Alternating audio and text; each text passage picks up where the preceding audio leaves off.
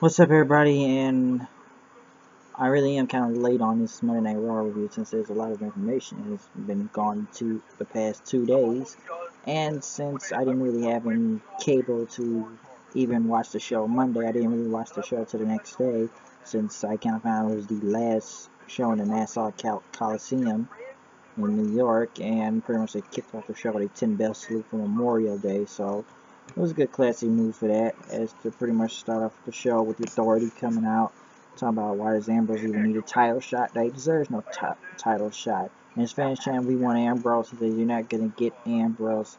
And the Authority, we could have fired him if we wanted to, but nah. They, they, we need to do something a little more concrete. As Triple H Trimmer says, there's a contract, and Ambrose has to the end to the night to sign the contract. Just walked down here, but Ambrose came out. People went nuts for Ambrose. Then he talked about Seth Rollins and he has they all are just sheep and everything. He talked about J&J Security, calling them hobbits because when he gets champ champion, he wants a lot. And pretty much he called Kane a lapdog. And that Ambrose, what, drunk text uh, Selena Gomez, and then he started chanting Justin Bieber at uh, Seth Rollins. Oh, first you call me a sellout, now I'm Justin Bieber. And says, at least Justin Bieber's rich. He has women that want him and stuff. And then pretty much he called Rollins a cockroach, Ambrose. And wait, no, he called Ambrose a cockroach, and all they do is just survive, but they never win. And pretty much he dared Ambrose to sign the contract. Ambrose was about to go down. He says, "All right, we're doing this the fun way then." He was going to the ring until Roman Reigns came out and um, pretty much Stephanie McMahon him that you guys are going to be in the main event. It's going to be Rollins and Kane versus Ambrose and Reigns, which is matches happen I don't know how many times, but I'll forget the main event. We'll do this match right now. As I see people trying to hate on Booker T again for commentary, talking about since if somebody wrote that being an Indian giver without signing the contract, I don't know why what people get mad at. It's it's just that whole Owen Hart thing. People just like to rip Booker T on commentary. Yeah, Booker T sucks on commentary. Don't get mad because he says all this stuff. And pretty much since that match pretty much went on, this tag match, Ambrose and them pretty much got the win uh, over Rollins, pinning him. So that happened, and since they were talking to Dean Ambrose in the back, J&J Security, had the security, the contract, oh, we don't get the contract, and pretty much making fun of Ambrose. Ambrose is like, oh, really? And they pretty much start he started beating up J&J Security. And then like the cameraman tried to hit him or knocked into him or something. Ambrose punched the ca cameraman and said, oh shit. And I guess tried to help him up, up after that. Rusev went against Truth. Rusev won. And then he called out Lana. He says, we have to, what to talk about. We have to talk. Why do you go kiss this Ziggler? And he forget he cares about Lana and after the whole WrestleMania and I Quit match um, Lana Priest says, everything I do, I do it for you and stuff. Do it for us. And pretty much Rusev took Lana's hand and, and then pretty much Rusev only needed Lana to say these three magical words. I was wrong. As Lana pretty much said, top of Lana pretty much got ready to leave. Rusev, no, you said, you cannot leave. I own you. I own you. And pretty much Rusev said he owned but Lana called him a, you're a stupid liar, you're a liar and a quitter, and called him an egotistical, cruel caveman, whatever thing, and went up to Ziggler and kissed Ziggler at the top of the stage. Which people said Stephanie McMahon like, pretty much tried to emasculate Rusev as Rusev just looked pissed, saying, no, no. So now they're arguing over Lana, um, Triple H and Rollins are in the back talking to Ambrose about the cameraman with two police guys and pretty much arrested them, and pretty much Ambrose well, the cameraman tried to say he was pushed, but Rollins tapped and just, that's, what, that's not what you're supposed to say. And pretty much they arrested Dean Ambrose and threw him into the paddy wagon and rolled off. Ryback went against Barrett. Ryback won. Nothing not to say about there. Good cast the entourage. We're talking Stephanie and Triple H in the back. Good said something about the whole Ronda Rousey thing and they kicked him out. Um,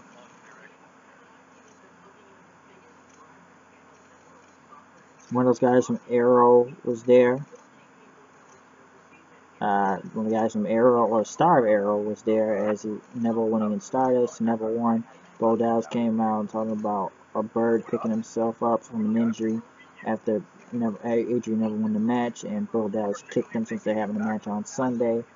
Um, the entourage guys are walking through the locker room and everything. All the divas. And then when I was talking to Zack Ryder, says, got to, it's the final Raw in this, event, in this arena tonight, man. You got to do it big. As people were really chanting, we want Ryder woo woo woo all night. And I don't know, the Divas just laughing after all the entourage went in the room with Ryder to talk. Ziggler went against Sheamus. Uh, Sheamus won. Pretty much Rusev kind of came out and distracted him. And then Rusev just hit the accolade on him and beat the crap out of him in the ring. His Lana pretty much looked on and stuff and walked away. So I don't know how long we're going to keep this Rusev Lana thing up. Whoever's going to make it out of this whole thing. Yeah, Ziggler Sheamus was alright. Cena came out doing what he could to put over the whole Kevin Owens and Cena match I'll Fight Owens fight and let's go Cena. But people started chanting we weren't Ryder and everything. We talked about what's going to happen this Sunday and he's going to take down Kevin Owens after what he's done, even take out his best friend NXT, breaking him in half.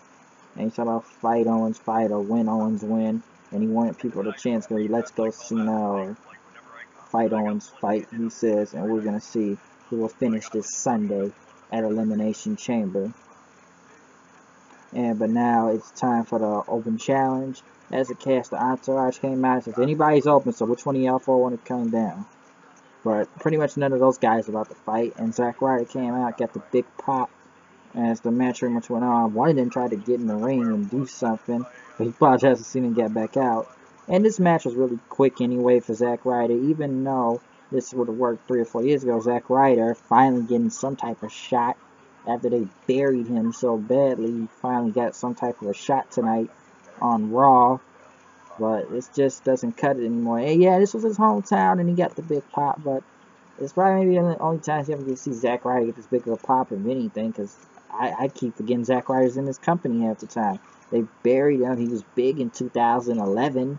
But after that whole thing, and after the U.S. title, it just went downhill from there. Uh, Stephanie and Triple H are talking about Kevin Owens. Well, pretty much after Zack Ryder won the match, Kevin Owens came out and pretty much pop up power bomb John Cena in the ring, step on the U.S. title again, just walking away with the NXT title. Um, the Bellas were out on commentary as Paige went against Tamina. Tamina won. And I, I, don't know. I think the crowd was dead. Nobody didn't care for this Divas match. And like I said, it's the last night and nobody cared. Nobody cares about the Bellas or whatever ridiculous face turn or whatever face turn they because they're not faces. I, I don't know how many times I gotta keep saying in these videos, but I think everybody gets the point. And uh, yes, it's a triple threat match between Nikki Bella, Paige, and Naomi Sunday. But yeah, honestly, just get a new champion at this point because I'm tired of it. Want the Bellas doing whatever around here. The New Day came out, which somewhat kind of woke up the crowd after they were asleep over the old Divas match woke up the crowd somehow, just taking cheap shots at him. And Kane came out saying that you're going to face all the other teams. Face all the teams, pretty much. Uh, pretty much just the New Day, all New Day versus Primetime players, King Cesaro, Matadores, Lucha Dragons, and the Ascension, which didn't really kind of go anywhere. And pretty much, surprisingly, they won by DQ the New Day since everybody got in the ring and attacked the New Day. Everybody just beat the living crap out of each other. And pretty much the New Day was kind of last one to stand in the ring once everybody jumped out of the ring and attacked each other. But uh, Ken Cesaro got back in, took out the New Day, and pretty much they stood tall. Uh, Miz will be interviewing, or I didn't even know Miz was still there. I forgot, he disappeared for a second. He'll be interviewing Daniel Bryan this Sunday. I guess something to do with the Intercontinental title. Maybe he'll give more update about his injury. So we'll see about that. The Authority came out, talking about the respect they should have and all that stuff. And Ambrose says, alright, it's the end of the night. But Roman Reigns came out and attacked them. Attacked all the Authority, but the pretty much the numbers took him out. And then the siren sounds, uh, the paddy wagons. Ambrose came out in a police outfit, which we've seen him do this before, come out with something like the Coney Island hot dog thing. and beat it all in with a nightstick, and pretty much him and Reigns took out Rollins and beat up the rest of the Authority members and stood tall. They've got him coming out with the paddy wagons like, is he supposed to be the new Stone Cold Steve Austin? Because all you need is Jim Ross in saying Stone Cold, Stone Cold, Stone Cold, Stone Cold. Yeah, but um, the whole last night in Nassau Coliseum was was good. I'll say that. even You know, in a tag team match, and the show was all right. But we'll have to see what happens in Elimination Chamber because I got a lot of other news I need to talk around. I'm not going to do in this feud. The only thing I can say is this: is that ROH is going to now be on Destination America. How ironic! Still, TNA is still on Destination America. TNA has not been canceled like I said, these are rumors before. I don't know how many times I have to say in these videos, but we know what the deal is and stuff.